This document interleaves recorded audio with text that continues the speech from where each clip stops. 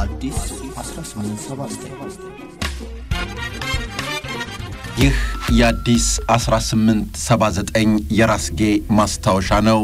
በቃላት ሊግባቡ በነገሮች ሊስማሙ ባለመቻላቸው አጼ ዮሐንስና ንጉሥ ሚኒሊክ ለውጊያ ተዘጋጁ። ከውጊያው በፊት ግን ሁለቱም ያላቸውን ተዋጊ በስፋት አደራጁ። አጼ ዮሐንስ የወሎውን ንጉሥ ሚካኤልን ተያይዘን እንዝመት ብለው ወደ ሸዋ ዘመቻቸውን ጀመሩ። ይህን የሰሙት አጤ ሚኒሊክ ከመጣችሁ ኑ እጠብቃችኋለሁ ብለው ጦራቸውን አደራጅተው መጠበቅ ያዙ። አጼ ዮሐንስ መንገድ ጀምረው ባለበት ወቅት ኑሯቸውን በበረሃ አድርገው የነበሩ የዚህን ዓለምን ኑሮ የማያውቁ ሁለት አባቶች እየፎከረ እየሸለለ የሚመጣውን ጦር ከተራራ ላይ ሆነው ቁም ብለው አስቆሙ።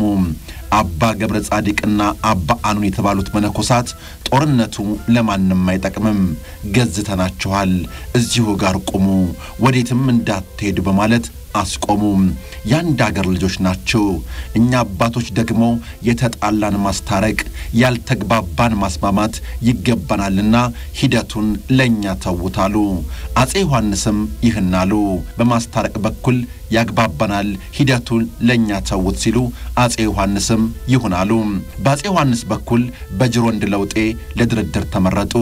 የሃይማኖት አባቶቹ አጤ ምኒልክ ዘንድ መልእክተኛ ላኩ።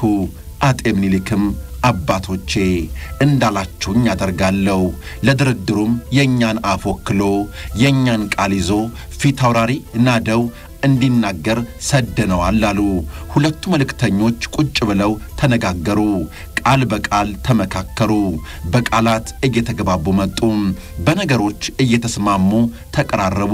የደረሱበትን ውጤት ሄደው እንዲናገሩ ተደረገ። አጤ ምኒልክ እኔ ለእርቅ ዝግጁ ነኝ አሉ።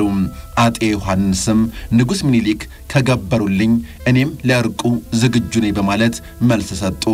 በመሃል ሳይታሰብ የሁለቱ ጦር ውጊያ ጀመረ። ጦሩ በአስቸኳይ ውጊያውን እንዲያቆም ተደርጎ እርቁ ተደረገ። በእርቁ ዕለትም ጠላት ሳይመጣብን ወራሪ ሳይደርስብን እኛው በእኛው መዋጋታችን በታሪክም ተወቃሽ ያደርገናልና ሁለተኛ አንዳችን በአንዳችን ነገር ውስጥ ሳንገባ እንስማማ ተባብለው ተመራርቀው ተለያዩ። ውድ የአዲስ 1879 አድማጮች ሁሌም መነጋገርን፣ መወያየትን፣ መመካከርን እንልመድ። በመነጋገር ውጤት ይመጣል። በመወያየት መጥፎ አስተሳሰብ ይወገዳል። በመመካከር መልካም ነገር ይፈጠራል። ይህንንማ መቼ አጣነው? መነጋገር መልካም ነው ብለን ይዘን መወያየት ደግ ነው ብለን እየተወያየን መመካከር ይጠቅማል ብለን እየተመካከርን ይኸው እስከ ዛሬ ደርሰናል።